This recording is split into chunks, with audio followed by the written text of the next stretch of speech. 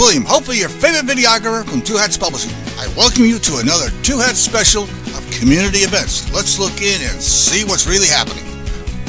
So I know y'all have already got other people coming, but you guys, please help me on this. Um, It's a rare thing, right? What is it? Ten thousand jobs up for grabs in two days, right? So, you know, we've all been on those awkward blind dates when we were single, right? You know, where you like, you get all dressed up, it doesn't work out. But this, y'all, is a job hookup. This is making money moves. Come see Clay.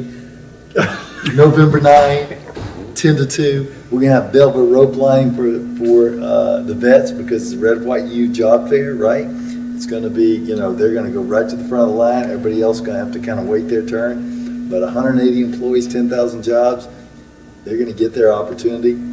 Today at 2, with some of your colleagues, we're gonna be up at at the UPS facility talking to some people that got the hookup at the, at the Judge Jenkins Year Hire Job Fair two weeks ago. But that was nine employers. That was four thousand jobs. This is hundred and eighty employers. This is, uh, ten thousand jobs.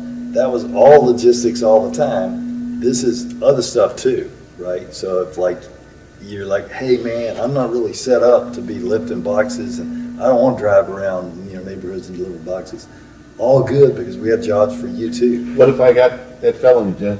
Felony, hey, it's, it's on a case-by-case basis, but if you're in my job fair, you're felony, friend, you're felon friendly, and you're paying a living wage. So here's another thing I gotta say to you. If you're stuck in some dead-end job with some, uh, bad employer paying you nine dollars an hour, you need to get some time off work between ten and two on Thursday.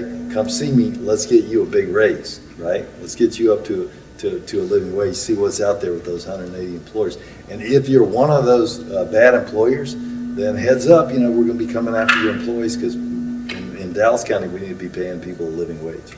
All right, sir. Either way, come see Clay. Either way, come see Clay. So if you don't wanna lose your employees, give them a raise. And come see Clay.